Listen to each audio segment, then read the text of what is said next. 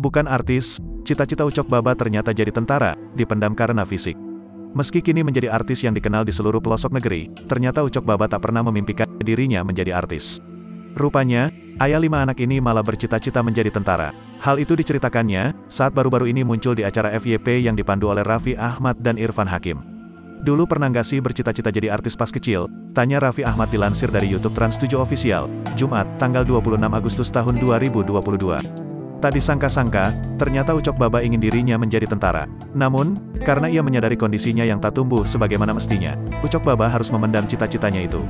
Setelah melalui pemeriksaan, barulah diketahui kalau Ucok Baba mengidap akondroplasia atau gangguan tulang yang berdampak pada kelainan pertumbuhan dan termasuk dalam karakter kekerdilan. Terkait masa kecilnya, Irfan Hakim dan Raffi Ahmad pun penasaran, apakah dengan perbedaan pada tubuhnya ia mendapat perundungan dari teman-temannya. Oh jelas, karena kita apalagi di sekolah. Dari ratusan murid kita doang yang beda, pasti dibulit tuturnya. Tetapi, tak hanya pasrah dengan keadaan, Ucok Baba menjadikan perundungan itu sebagai motivasi untuk dirinya terus berprestasi. Tapi kan untungnya Bang Ucok pintar, katanya ya, papar Irfan Hakim. Iya juara kelas, jadi aku dulu orangnya nggak pernah berpikir sedih apa gimana. Aku pokoknya harus berprestasi. Juara kelas, tandas Ucok Baba.